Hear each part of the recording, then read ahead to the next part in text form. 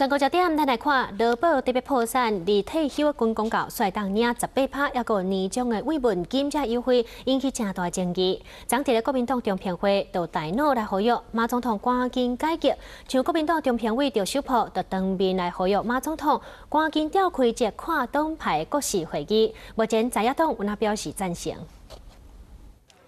劳保面临破产危机，退休军公告一领十八趴优惠存款利息，要年终慰问金也备受国民党大脑批评。把做过劳委会主委、现任总统府主席的国民党中评委赵守博，三号在国民党市中评会上要求爱赶紧来检讨，赶快召集一个或者跨党派的国事会议，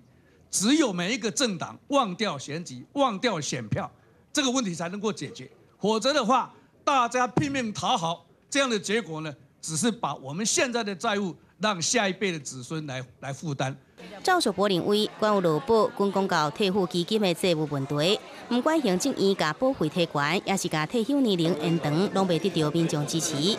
当马总统的面，伊要求爱赶紧召开跨党派国事会议，在野党也表示赞成，认为上好在年底前举行。这种啊，摒弃。蓝绿的对立，摒弃朝野的这种成见啊，拟定啊整体的这个改革的方向，不应该由国民党的主席、民进党的主席或是台联党的主席来参与，应该由国内的财经的专家呢哈，